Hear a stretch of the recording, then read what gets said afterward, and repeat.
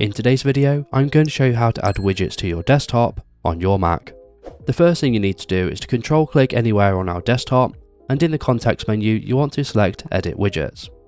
Once you select this option you should see the widget panel appear from below. Now in the left hand side menu you see all of the applications that you can have widgets for and in the right hand side menu you see all of the available widgets.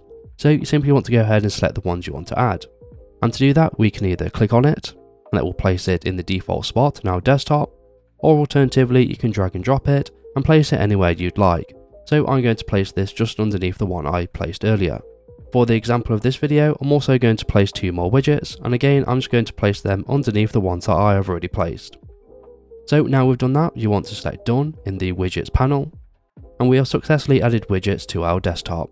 Now if you're not happy with the placement of them, you can simply move them about by dragging and dropping them anywhere on the desktop. So I'm going to place mine just like this.